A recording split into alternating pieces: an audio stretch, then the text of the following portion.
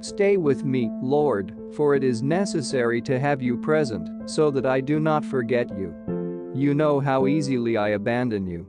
Stay with me, Lord, because I am weak and I need your strength, that I may not fall so often. Stay with me, Lord, for you are my life, and without you, I am without fervor. Stay with me, Lord, for you are my light, and without you, I am in darkness. Stay with me, Lord, to show me your will. Stay with me, Lord, so that I hear your voice and follow you. Stay with me, Lord, for I desire to love you very much and always be in your company. Stay with me, Lord, if you wish me to be faithful to you. Stay with me, Lord, for as poor as my soul is, I want it to be a place of consolation for you, a nest of love. Stay with me, Jesus, for it is getting late, and the day is coming to a close, and life passes, death, judgment, eternity approaches. It is necessary to renew my strength so that I will not stop along the way, and for that, I need you.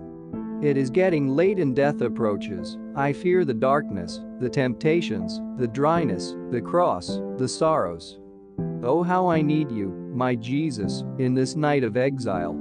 Stay with me tonight, Jesus, in life with all its dangers. I need you. Let me recognize you as your disciples did at the breaking of the bread, so that the Eucharistic communion be the light which disperses the darkness, the force which sustains me, the unique joy of my heart.